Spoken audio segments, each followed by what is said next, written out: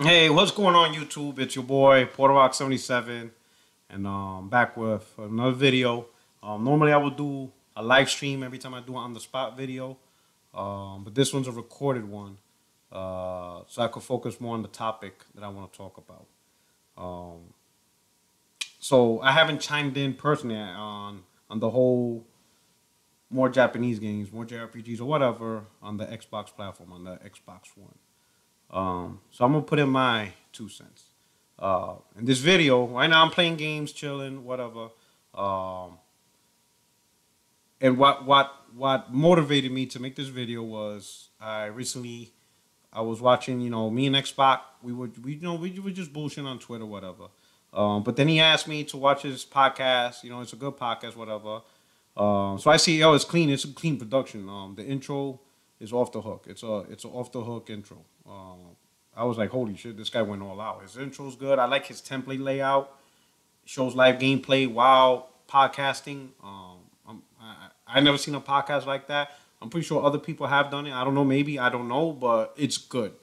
Um, it's it's a very clean, high production. He, you you could actually tell he takes his time to really make a great podcast, and it's just his edits and all that. It's on point. So shout out to Xbot four four eight. Um, especially if you're an Xbox dude, go check out his channel. Uh, and he has my boy K Mega on there, and he has two other dudes I'm not familiar with, but I know K Mega. Me and K Mega. Just to get the record straight, me and K Mega are people. We are good friends on stuff like that. We just bullshit on on Twitter and on the multiplayer podcast because we understand people like that shit. People like the entertainment value of just you know of of just going in on stuff like that. But I have so I have very much respect for him and stuff like that, and he's he's an awesome dude. You know what I'm saying? And same thing like that. So I don't want anybody to think that we hate each other. Man, me, me and him we could go out all day, but me we we understand. We we K Mega and I are both around the same age, so we understand like the whole Sega Genesis, Super Nintendo shit talking. You know what I'm saying? So yet we still play games together. We we're from that generation when we could talk shit, but we will play games together. You younger dudes could learn a lesson from most older dudes where you could still talk shit, but you could still game. You know what I'm saying? At the end of the day, it's just games and stuff like that. But anyway, I'm planning to call this title Xbox Nation. You need to know your history, right? And and this has to deal with the JRPGs, and I'm I'm gonna explain in order in order to understand where I'm coming from. And this might be a long video, and I apologize. I know some people don't like long videos, but I I don't know any other way to do it. You know what I'm saying? Um, listening to in your car. You know, you, this is a face to face. The reason why I'm doing face to face is so that way you can see the sincerity in what I'm about to talk about. Um, so I'm not bullshitting. This is no fanboy bullshit. This is just straight gaming. But in order for you to understand, I I have to explain a little bit of where I'm coming from. All right, so that way we get a little context on what I'm talking about. All right. So I'm gonna take this back to to when I started gaming. I started gaming very young, at four. But from my memory, I remember gaming at six, seven, eight, whatever. Okay? There were things that was happening in gaming that I didn't, didn't even know that was happening. You understand what I'm saying? At a certain point, I decided to start following the industry at the level of of market share, game sales, um, and stuff like that. All right and and that started around the PS1 and 64 era. That's when I started going beyond just reading a magazine just to see what game was coming out E3. I wanted to know a little bit more about my hobby because I love gaming. Gaming has probably been my number one hobby above anything else. And I play sports.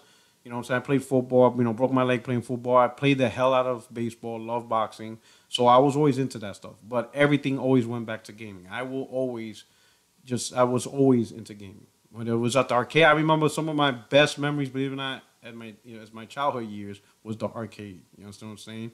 I have so many memory specific arcade memories. You know, you know, I remember the day Street Fighter Two Championship Edition landed in the pizzeria and how how how how big that was for games and stuff like that. Playing Fatal Fury, Mortal Kombat. There's just arcades brought so many memories. So gaming has always been my number one hobby. You know, it's it's possibly provided the most cherished memories out of any other hobby out there, whether it's sports or whatever, okay, or movies and stuff like that, you know. So because of my favorite hobby, I got into a little bit deeper, into the market share, the sales, and stuff like that. Now, people may wonder, well, if you're a gamer, why do you care about sales, whatever? Because there was things that was happening I didn't understand, and I'll give you some examples. Like Sega 32X, which was on the Genesis. Yo, I love that fucking device, and I thought that shit was gonna take off because you know it was just a cheap device that you would pop in on your Sega Genesis, and then you would buy 32X games, and the games were off the hook. They look so good, play so good, and I was like, man, this shit's dope. But it wasn't like you you didn't see a lot of content. At the time, I didn't understand. I'm like, damn, how come I don't see that many 32X games? Like, what the fuck? I had the the Sega Genesis CD, dope, loved it. You know what I'm saying? But I didn't see a lot of content or the games advertised. You know, had the TurboGrafx CD. I had TurboGrafx 16. Um, you know, the Sega Saturn. You know, I have products that I, I even bought the bazooka on Nintendo and shit like that. You know, I would have a lot of stuff. I had Rob the Robot on on, on the NES. So I I bought well my parents more or less at a certain time bought a lot of stuff and maybe you know with my um um allowance money I bought stuff on my own but there was just a lot of stuff that was just so cool to own and you just and I was just like damn like why did this disappear or this went nowhere? And I'm thinking, man, what's going on? I didn't understand. I was ignorant to what was going on. So I wanted to know more, you know? So I was a little older, PS1 and 64 era, and I started learning more about market share. I started learning about industries and sales and all this stuff. And I started seeing the light. I started seeing, oh shit, so this is what's going on, you know? I knew N64 was not gonna outsell the PS1 because I was reading articles on how Nintendo possibly screwed themselves by not going CD. You understand? If I wasn't, if I didn't dive deep into my hobby at that level, I would have not known that. You know, some people didn't know why N64 wasn't as popular as PS1 because they never dived that deep. You know, to them it was just buy games, whatever. But then they realized, damn, how come you know this console getting all the games and this one isn't? They didn't realize unless you unless you were taking your hobby to the next level to understand the industry and the sales, you wouldn't have known that. You know what I'm saying?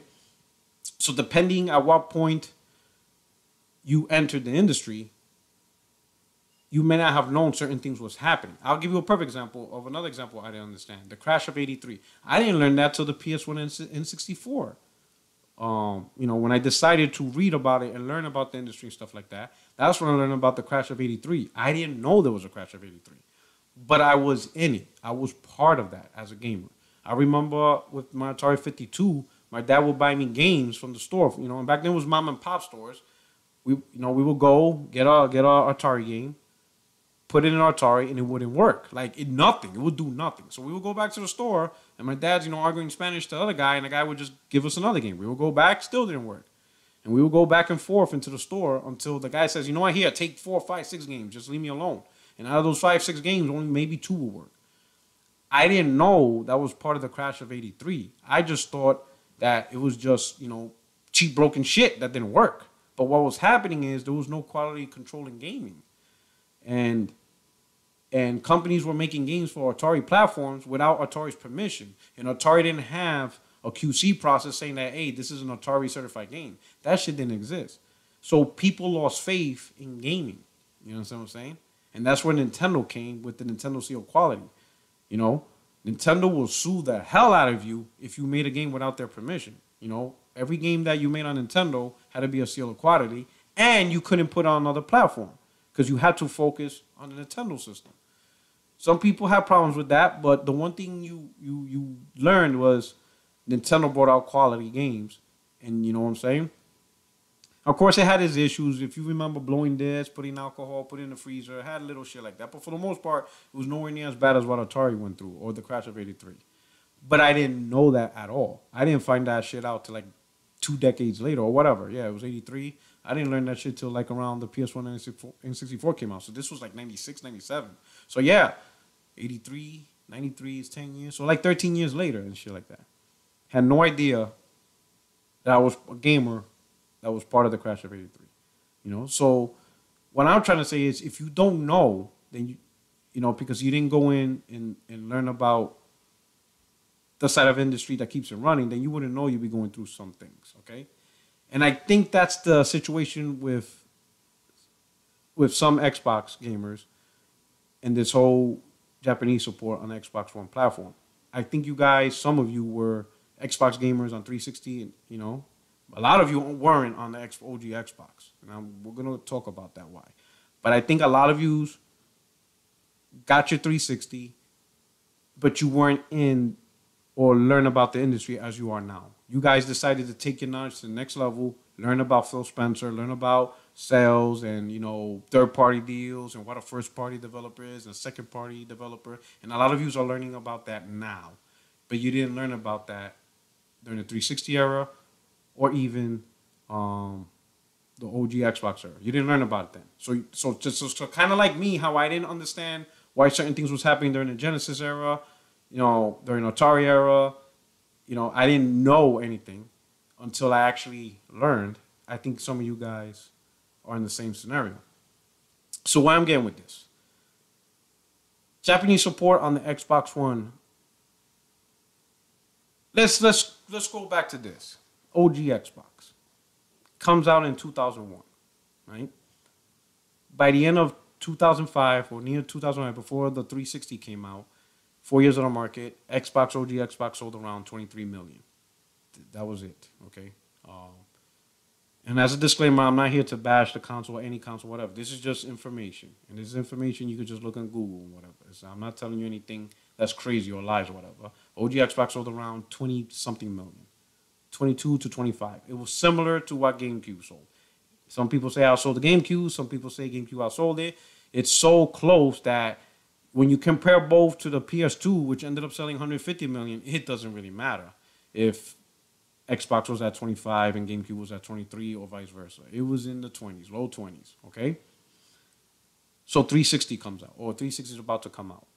The man behind it is Peter Moore, who worked for Sega. And Peter Moore understood that if they need to take 360 to the next level and become a force in the market industry, you have to attract the PS2 gamer. That's just the reality.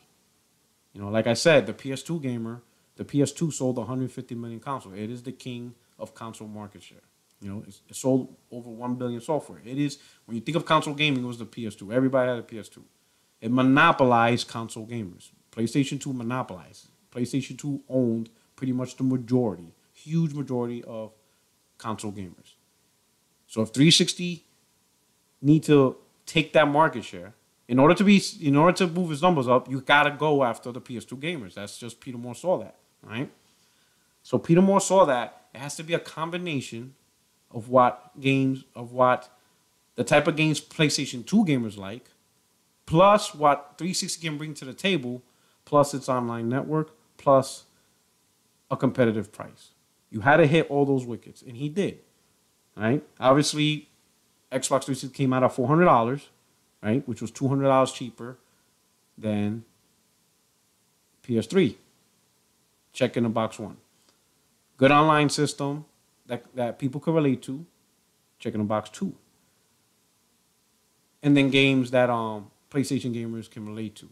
And that was that's where he hit the nail. So obviously we know 360 took games like Devil May Cry, Final Fantasy, uh, the biggest thumb of them all, Madden. Uh, I mean, not Madden, Grand Theft Auto. I'm sorry, Grand Theft Auto.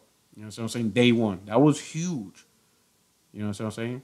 Also, what Xbox could bring to the table. what Xbox brought to the table was a lot of exclusives that were that were generally PC centric, like Bioshock.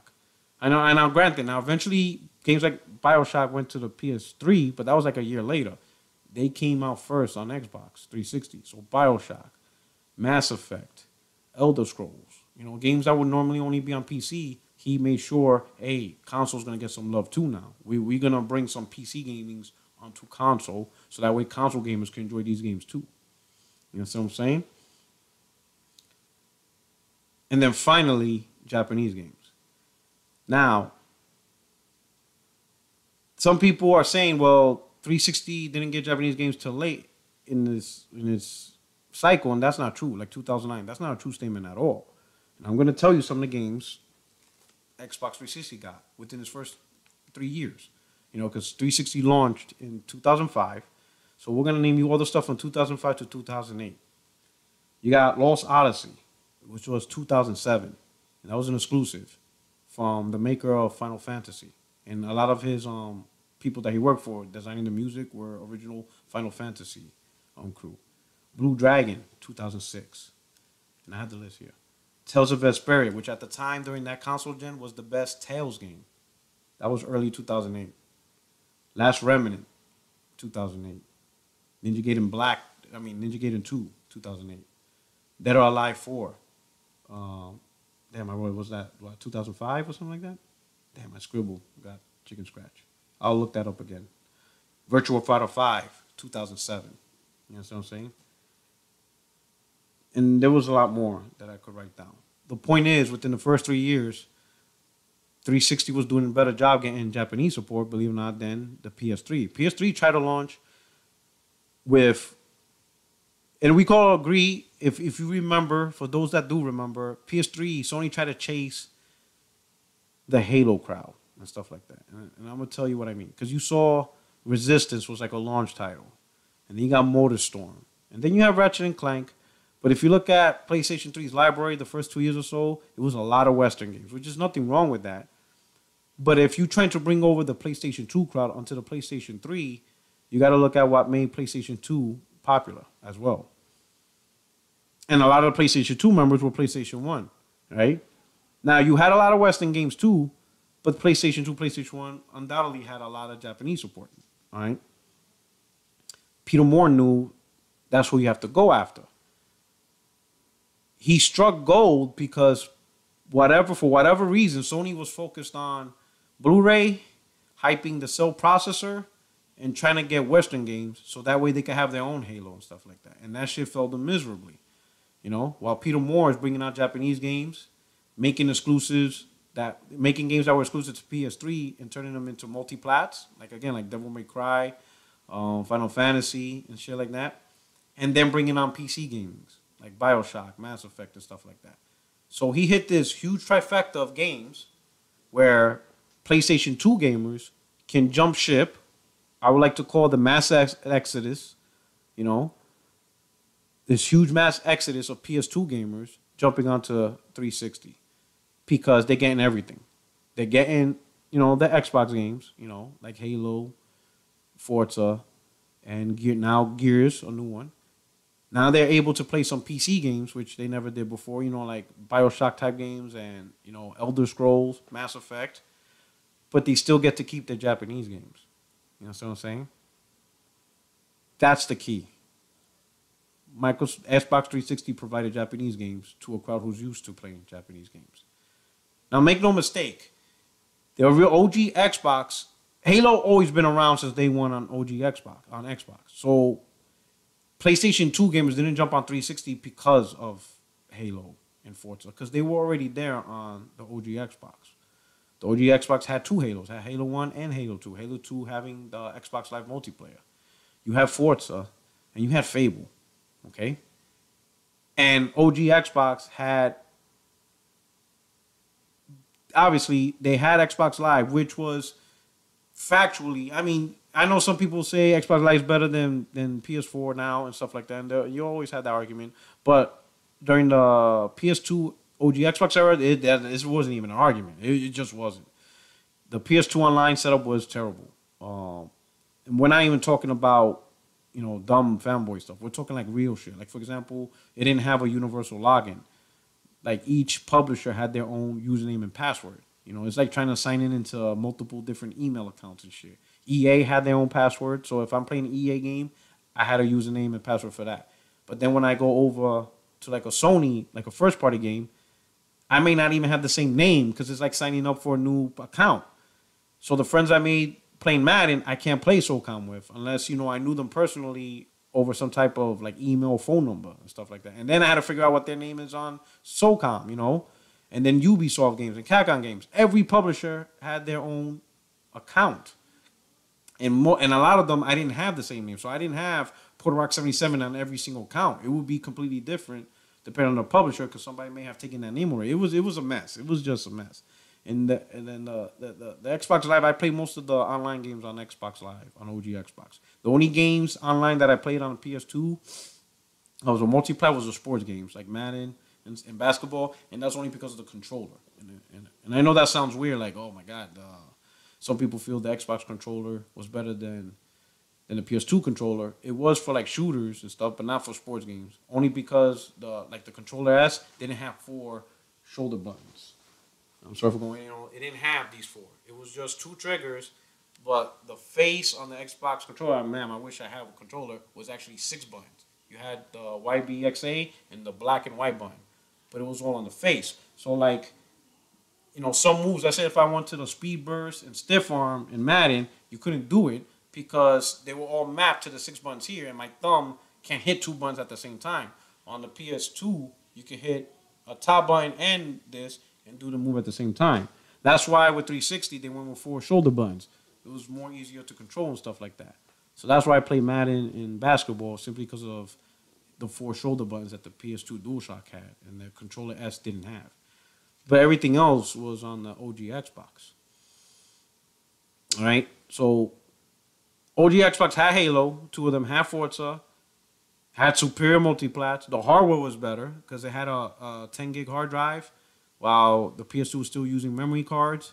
It was just an all around better console in design with a better online network, and it had um, Halo and stuff like that. So why did it only sell 23 million? Well, like I said, I told you I was part of. I, not say part, but I was. I got into the industry in terms of learning about it with sales and all that during the PS1 and 64, which carried over to the PS2 era. And then with the introduction of the internet, because I got my first computer and access to the internet in 2000, so that's when I started like researching over the internet in 2000. I, I stumbled upon forums and stuff like that, like GameSpot forums and all, you uh, know, One Up forums and all this stuff. And man, fanboys were brutal back then. PS2 gamers did not like Xbox. They they they did not get Xbox. Xbox got the fucking short end of the stick. You got you guys think you guys had it, but I, I would say it's not. It's it's probably worse now because of Twitter and social media is bigger. But back then, like you you you would read multiple forums. It was pretty bad for you guys. Like Halo was getting no props from the PS2 or the PS4 or even the Nintendo crowd.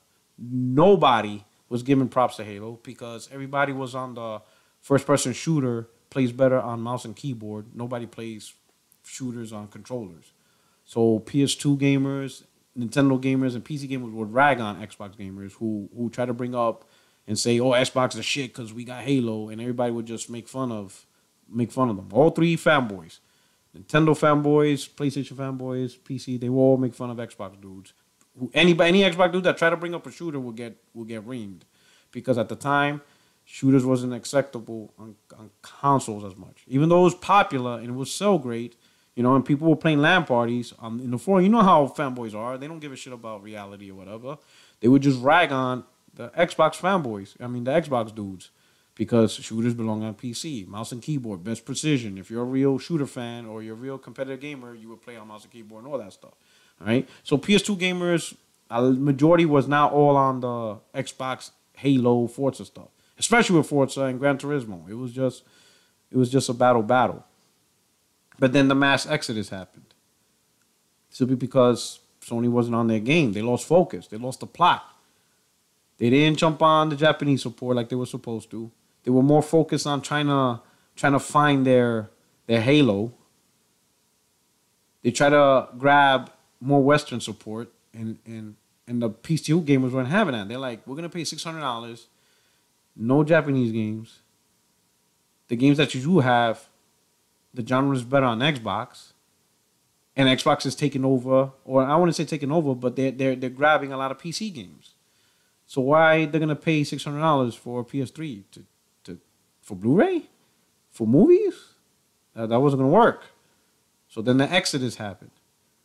So you have this huge chunk of PS2 gamers that just left. One of the slogan for Xbox 360 was "Jump in," you know, as a little pot shot, meaning, hey, jump on board to the 360 train. And it, and it worked. It happened. Huge exodus.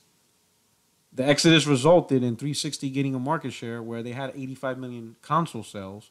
And PlayStation, you know, over time held its own, but it went from 150 million juggernaut to around 85 million as well. You know what I'm saying? So pretty much half the market share now belongs to Xbox. You know what I'm saying? With a combination of its own games, bringing stuff to PC, and bringing the games that PS PlayStation gamers like. So that's what Xbox 360 was made up of. All right. Now we fast forward to to the PlayStation 4, Xbox One era. By this point, people are seeing um, that a lot of Japanese development has moved on to, you know, mobile gaming or handhelds and stuff. So a lot of the Japanese gamers, you know, gamers, you know, that like these games, we kind of see that, hey, you know, majority is on on phones and stuff like that, and we get that. So the 360 gamers that move on to Xbox One, you gotta remember, it goes back to PlayStation 2. These these guys still have uh, a history with PlayStation 2 or the type of games they like. But because Japanese games moved on to mobile, or that's our perception, you know, you can't criticize consoles as much, okay? And that was fine, and that was like the stalemate up until PSX, which changed everything. Because now, after seeing PSX, we're seeing a lot of these Japanese games are coming back to console, and more and more are coming. And some of them have big budget within the Japanese realm, like you know, like Nioh and stuff. And these Xbox One gamers who did the mass exodus to 360, who then were originally on the PS2, PS1, that feeling of playing J- JRPGs and Japanese support is coming back again because they're seeing it is is on consoles again. You know what I'm saying? Maybe not as much as mobile, but a lot more than what we've seen over the last three years, and they want in. You know, now some of these Xbox One gamers don't have a PS4. Probably didn't plan on getting a PS4. Probably still can't get a PS4. They probably still want to stay on the ecosystem that they enjoy, but now they realize they're missing something that they had with the 360 and that they had with the PS2, which was Japanese games. And I think that's what some of you are missing out.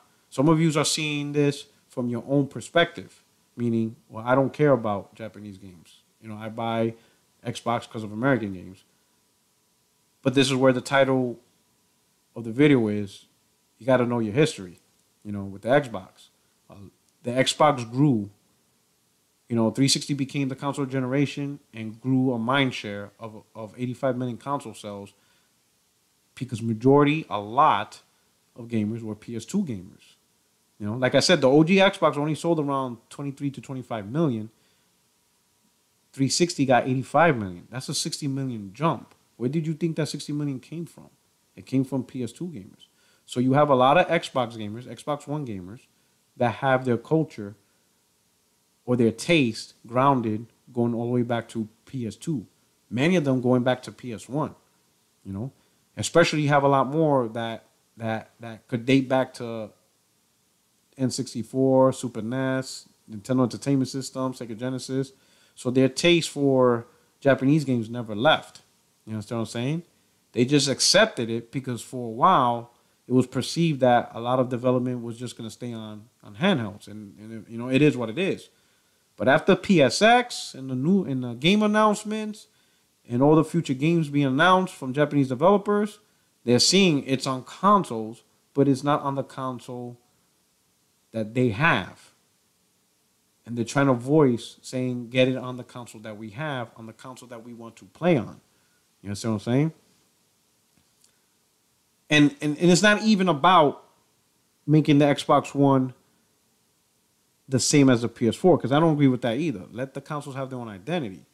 But what they're asking is, can the Xbox One provide the same as the Xbox 360? That's all they're asking for. Because remember, a lot of you got millions of gamers on Xbox One that came from the 360, that came from the PS2. You understand what I'm saying? So they have an, uh, uh, I don't want to use the word affiliation, but they have something grounded on Japanese games, right? Now, the big talk is is is sales for Japanese games. Oh, these games don't chart. And I had I had a conversation with Xbot448 on Twitter. And, and and it's hard to really express what what you're trying to say on Twitter because there's so many characters. And then when you send the message, sometimes it don't flow right. And if the person's busy typing their message, they, they could lose the meaning. So I'm gonna say it here so he can understand. All right. There's a difference between charting and being a success um, in terms of profits and stuff like that. You know what I'm saying? Well, so my wife. Um, but there's a difference between charting and profit and stuff like that. Um, a game not charting doesn't necessarily mean it's a failure, as long as it meets some type of level of profit. If it reaches profit, you know, then it's a successful game, even if it didn't chart. Charting doesn't necessarily mean profit. You know what I'm saying? It all depends on what you invest and what you expect out of it. And I use the example of Gravity Rush. All right. As you can see, Gravity Rush, maybe in Japan it charted, but nowhere else did it really chart. It didn't chart much anywhere else. But yet, Gravity Rush 2 is coming out in January. Sony greenlighted the sequel. Now, reasonably, if you know, I can't I don't know what the budget of Gravity Rush is, and I can't tell you what the profit was. But I think it's reasonable to assume that because Sony greenlighted a bigger budget for Gravity Rush 2, because the original Gravity Rush was a Vita game, but now Gravity Rush 2 is a full scale PlayStation 4 game, it's safe to assume that Sony greenlighting the sequel, want to even greenlight a sequel, but also to give it a console level budget means the first one was successful. Because I doubt Sony's gonna go, all right, Gravity Rush, you know, we didn't make no money on Gravity Rush, it didn't make no profit, but you know what? Give it a bigger budget and put it on PS4. They're not gonna do that. You know, I think it's reasonable to assume the reason why they greenlight Gravity Rush 2 and gave it console level budget treatment for the developer is because the first one was a success. So now they want to put on PlayStation 2, 4 to see if it even becomes a bigger success. That's how. So that's the real metric of whether a, a game is successful. You know, if you don't see a sequel, probably didn't meet, you know, the grade. They didn't make the grade. You know, that's that's the point what I was trying to make. You know what I'm saying?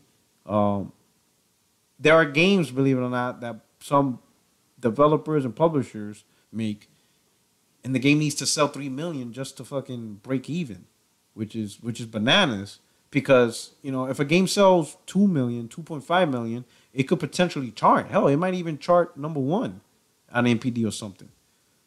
But if it sells 2.5 million, you need 3 million just to break even. You're not gonna get a sequel. You know what I'm saying? So charting doesn't necessarily mean success. Uh, it, it comes down to profit and how the game does, you know. And a lot of Japanese games, while not charting, make profit because Japanese they they they moderate the type of budget a game gets on on when they release it. So a lot of Japanese games they they profit with just a million sales and they make a huge profit margin. You know what I'm saying? That's just how they develop games. They try to maximize profit with what they put into their products and stuff like that. You know, take a look at Persona 5. You know, it's not a huge console seller. It'll oh, get his million, it'll get his million and a half. But that game's been around since PlayStation 1. It's, it, it survives the test of time and it makes Atlus huge chunks of money. But it's what they spend in comparison to what they get in terms of sales and stuff. It may not chart, you know, in Europe or in the United States. But it pays the bills and it makes profit and it warrants consistent sequels, you know? And I think a lot of a lot of people this gen don't realize that. I think they see it as if it if it's not in the top 10 NPD or in the top 10 on the UK charts and stuff like that, oh the game is trash, it didn't chart or I mean the game is trash, it didn't make money, it's not going to get a sequel. And yet they see a game that's on top 10 and they wonder, damn, this game was top 10 NPD. Why didn't it get a sequel? You guys are forgetting the profit portion and, and, and how much sales the game really need to make to be relevant for another sequel. All right. So because of this sell stuff, you guys don't see that by having Japanese developed games, you open up a portfolio and a variety for people to come to your console. You know what I'm saying? Um, you cast a wide net especially if your predecessors have done it. It would be one thing if Xbox never done this before and never had Japanese games before. It would be something if 360 never had Japanese game before. Okay, that's understandable. You know what I'm saying? Um, it never did it before, so why would you think it's going to do it now? But that's not the case. Xbox always had Japanese support, and it had enough Japanese support to pull PS2 gamers. You know, so that way they're not left out on something they like. So they got the Japanese support that they like, the Japanese games that they like, plus other stuff, and that's what brought on the success of 360. Um, but now the Xbox One's not even doing what the 360 did, and, and in general, Xbox hasn't been using a lot of strategies that made 360 successful. It's not going after marketing rights. It's not going after the majority of the marketing rights of some of the biggest multiplats that are out there. It doesn't have the exclusives, the Japanese. It didn't go after Japanese games like you know Peter Moore did on 360.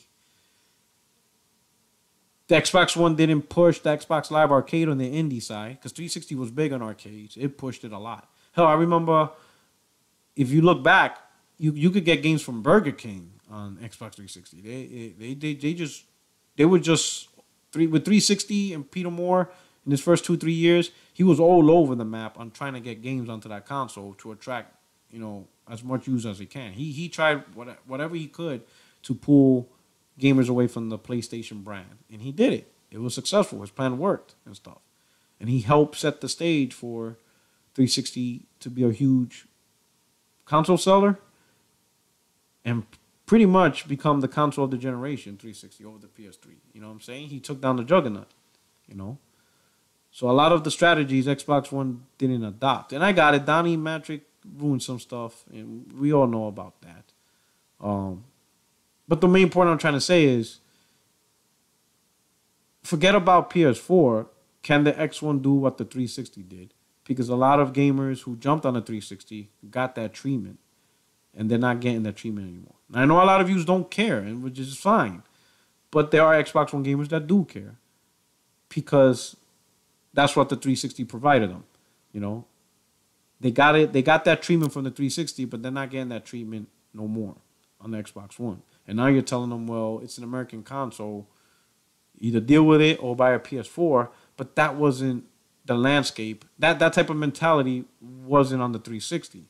No one said 360 was an American console, buy American games, or, just get the PS3. It wasn't like that. Like I said, some of the games I announced, like Tales of Vesperia, was the best version. It was the best Tales on console. You know what I'm saying? Lost, you know, and I mentioned some exclusives that were Japanese and stuff. And then, and, and over time, it even got more. You got, you know, Ninja Blade, and there was just a lot more. Even OG Xbox had a lot of Japanese support. So that that so the whole Win American console, if you don't like it, go get a PS4. It wasn't like that on 360. And Peter Moore would have not thought like that. Because he knew if 360 had to get big, you need to attract the PS2 gamer. That's just the fact. That was just it, you know? Having that mentality of think about it. If if if you say 360 is American console, go on PS4 if you don't like it and get your Japanese games there. Those gamers will go on PS4, and guess what? They'll still get their American games. You'll still get the Call of Duty. You'll still get the Elder Scrolls. You'll still get the Mass Effects. You'll still get the Red Dead Redemption. Hell, Sony's taking marketing rights to those games, to American games. You know what I'm saying? And that's what makes a huge console seller when the console provides the best of both worlds, multiple variety that everyone could appeal to. All right. Um, that list of PlayStation 4 games coming next year, I, I that I like eight games. You know what I'm saying? There's eight games out of the list. It's not every single game that I like or every Japanese game that I like. There's a few of them that I like. But it's a choice. It's my choice to say I want it or don't want it. You understand? Most reviews are saying, well, I don't like those games, which is fine. But on Xbox, it doesn't matter if you don't like them. You you can't get them on some of those exclusives. You don't have a choice. You understand what I'm saying? So there's a difference between seeing a game and saying, I don't like it because you choose not to like it, and yet the choice is done for you. You know what I'm saying? Um, that's just the reality. It's kind of like you know with EA Access on PS4. A PlayStation 4 gamer could say, "I don't like EA Access." Well, it doesn't matter if you like it or not. You you don't have the choice to get it, so it doesn't. It's irrelevant. You know what I'm saying? Uh, an Xbox One gamer could say, "I don't like EA Access" and choose not to pay for it. But for those that do like it, you have the choice to pay for it. You know what I'm saying? So it's the same type of logic. Saying something you don't like something, but it's not on your console, it's irrelevant. You don't get the choice. You're not gonna get the game even if you did. You know. So to tell Xbox One gamers, you know, this is American console, which doesn't really mean anything, because video games ain't supposed to be divisive when it comes to a culture. It, it, it, doesn't mean anything. You know, Western games, Japanese games, European games, you know, Canadian games, it doesn't matter. It's just games. And the console manufacturer's job is to try to get as much on their platform so that way the gamers can have a choice in, in what they want to play, if that makes sense. All right? Um, that's because that's just at the end. So you got Xbox One gamers who jumped to 360 when they were on PS2 and played PS1.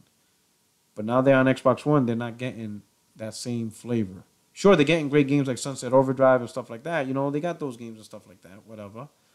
But there's but if they're missing a genre or Japanese development that they feel they should get because they had it before, I don't see why they should be bashed for that or the community should be looking at that. And I understand Microsoft's trying to do the best they can. You know, it's not the end of the world. I think everybody's trying to treat this as the end of the world. But it's just criticism. That's all it is. No different than people criticize PlayStation 3, I mean PlayStation 4 for being sparse. Or PlayStation 3 for being a $600 Blu-ray player with no games. It's, it's criticisms all across the board and stuff like that. I'm not trying to convince for those who are watching my video are Xbox dudes and don't give a shit about Japanese development, I'm not trying to convince you to like them. You know what I'm saying? If you're if you love the, the Xbox the way it is, then that's perfectly fine. There's nothing wrong with that. I mean, at the end of the day, you bought it for your own personal taste. But what I'm trying to convey to you guys is is understanding of why some Xbox One owners are saying the things they're saying. You know, and majority of them, a lot of them are not fanboys. They're not doing it to antagonize you. You have to understand where they come from, and I, and, and some of you may not have known that a lot of Xbox One gamers are PlayStation 2, PlayStation 1 gamers. And the reason why they became Xbox gamers isn't because of Halo or Forza. It's because the 360 did a better job of getting the games they wanted. You know what I'm saying? The 360 for like the first three years or four years did a better job of being a PS, a PlayStation console than an actual PlayStation 3 did. You know what I'm saying? With these games. So they moved on to 360 because they still got what they wanted. But now that they moved on, not moved on, but now that they stood in that ecosystem of Xbox One, and they've seen these Japanese games are going to exclusively on PlayStation 4, now they're like, oh shit, you know, now they're missing something that they always had. You know, they always had it, whether it was with the PlayStation 1, whether it was with the Nintendo Entertainment System, the Super NES, PlayStation 1, PlayStation 2, Xbox 360, they always had that choice and flavor that they were to do. But now they don't have it as much on the Xbox One. Hopefully things will get better. Hopefully Phil Spencer hears this because I know he's a busy man. He's trying to, you know, he's trying to, you know, Xbox One had a rough start, you know, so so he he he got into he got into a generation where Xbox One was behind the power curve. You know what I'm saying? Because of what of what Donnie Mattrick did and all that shit. So he's trying to make things better. And maybe he is trying to get Japanese games. Maybe, you know, it's just taking him longer uh, to fully develop the platform and relationships with Japan and convince them, hey, you know, we got Xbox gamers who who who who want JRPGs. So you know, money funding, but he's taking one step at a time. And I think right now, Scorpio is a priority in trying to get that launch and you know trying to make it smooth. And you know who knows? Maybe after Scorpio, he'll now put focus on foreign developed games and shit like that. So there's still opportunity. I think this gen still got a lot of legs, especially now that we have refreshed consoles, the Pro and soon the Scorpio, I think those two consoles will extend the life of this generation. I think there's going to be like a eight year generation all over again. Um, I could see I can see next generation consoles not coming out till like 2019, 2020, 2021 simply because of these refresh consoles. So, you know, he could still be in the works and stuff like that, you know?